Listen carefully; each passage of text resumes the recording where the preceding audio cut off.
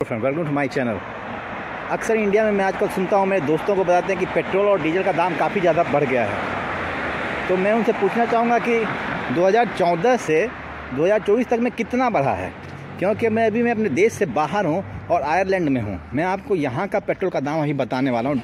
Petrol का छोड़िए मैं डीजल का दाम बताने वाला हूँ क्योंकि मैंने जो गाड़ी खरीदी वो डीजल की कार है। तो मैं आपको बताऊँगा कि यहाँ पर डीजल का प्राइस अभी कितना है। और जब मैं आया था दो महीने पहले, तब कितना था? तो दोस्तों, ये देखिए, मैं पेट्रोल पंप पे ही खड़ा हूँ और अगर आप देख पाएँ, वहाँ पे बोर्ड लगा हुआ है।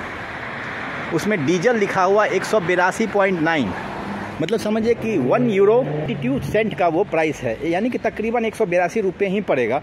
एक सौ सत्तर, एक सौ पचहत्तर भी मान सकते हैं। एक यूरो में नब्बे रुपये होता है। ठीक है? नब्बे, बिरानवे, ये वेरी करता है। तो ये इतना कब से बढ़ा?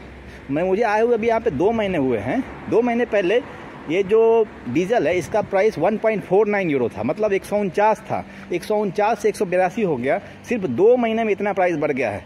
तो दोस्तों, आप बताएँ कि इंडिया में जो प्राइस बढ़ा है, वो कितना बढ़ा है पिछले दस सालों में? कमेंट सेक्शन में ज़रूर बताइएगा कि कितना बढ़ गया है पेट्रोल का दाम पेट्रोल का डीजल का दाम, कितना बढ़ गया है पिछले दस सालों में।